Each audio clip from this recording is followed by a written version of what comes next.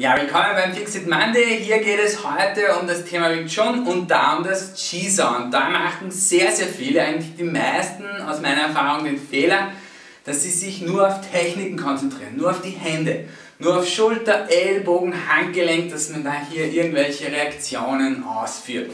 Auf was fast niemand achtet, ist die Stabilität, das heißt auf den, auf den Rücken und auf die Hüfte und dass man hier stabil steht.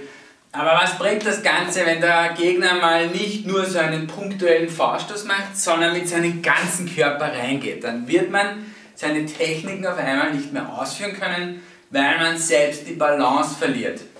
Und wenn man sich die Sektionen ansieht, dann hat jede Sektion eine Übung drinnen, wo man die Stabilität testen kann und auch sollte.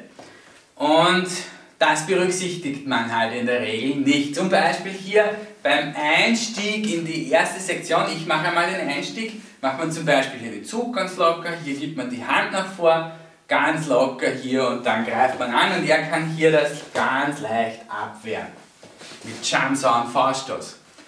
Aber wenn man das richtig macht und hier richtig andrückt, zum Beispiel er macht das bei mir und ich achte nicht auf meine Stabilität, dann wird er mich hier auf einmal wegschmeißen.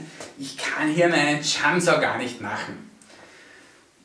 Wenn ich aber hier wirklich stabil stehe, Rücken gerade und dann hier mit der Körperverbundenheit einen Landsau mache und er probiert das wieder hier, dass er mich wegdrückt, auf einmal kann ich das ganz leicht aufnehmen und man sieht schon, ich bin drinnen. Nicht nur mit dem Vorstoß, sondern ich könnte hier auch schon einen Faxer machen mit Vorstoß. Und er hat hier, wenn er diese Technik durchzieht, obwohl ich richtig reagiere, keine Chance mehr auf eine Abwehr. Und ich finde, man sollte das dann in den Sektionen auch so trainieren. Also schauen wir es uns noch einmal an hier. Die erste Sektion, ich mache den Einstieg. Das heißt, richtig ist es so, ich mache den Zug. Jetzt rutsche ich nach vor und habe diesen Druck hier beim nach vorgehen. Also ich halte die Hand nicht nur lascher, dann ist eine Abwehr ganz leicht. Also richtig mit tiefem Ellbogen rein und er kommt hier ganz leicht rein. Wenn er das aber probiert, den Jumpsaw und er hat aber keine Struktur, er probiert aber den Jumpsaw, sieht man schon, er hat keine Chance auf eine Abwehr. Und probier das einmal aus zu Hause, trainiere es richtig, Trainiere hier wirklich tiefer Stand, Körperschwerpunkt senken, gerader Rücken. Hier wie in der Form auch schön den Langsau und dann macht man hier diese Abwehr.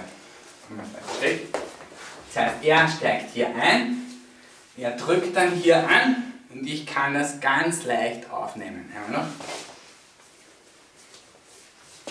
Hier kann ich es ganz leicht aufnehmen bin hier schon drinnen.